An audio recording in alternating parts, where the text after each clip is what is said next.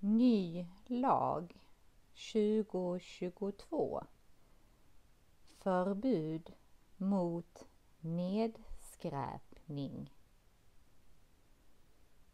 Från den 1 januari 2022 Ny lag. Du får inte kasta skräp på marken. Exempel. Ett tuggummi. En cigarett. En flaska.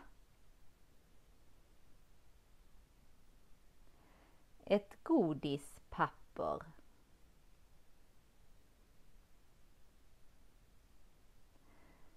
Då kan du få böter.